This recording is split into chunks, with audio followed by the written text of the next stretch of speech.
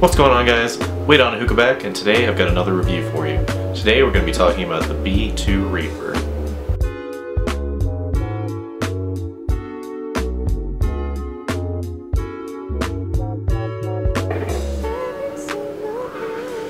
The B2 Reaper is the latest hookah from B2 Hookah, who prides themselves in high quality, modern designs with a traditional feel to them.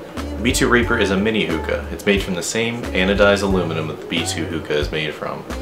It's a, since it's a mini, it fits on MYA bases, like the MYA Gelato base and the MYA Bambino base that you can see on my hookahs behind me.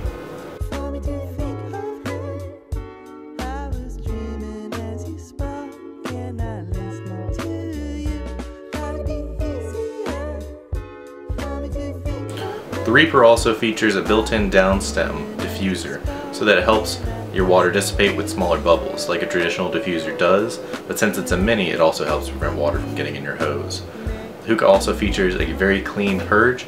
As you can see it purges in one breath very easily, which is partially attributed to the fact that it's a mini base, but it's also due to the fact that it's a clean purge. It's very wide open, it's very easy to purge.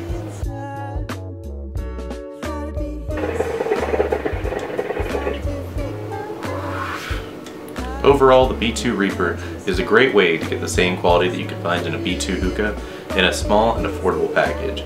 It sits at $129.99. You can find it at b2hookah.com as well as hookahheroes.com.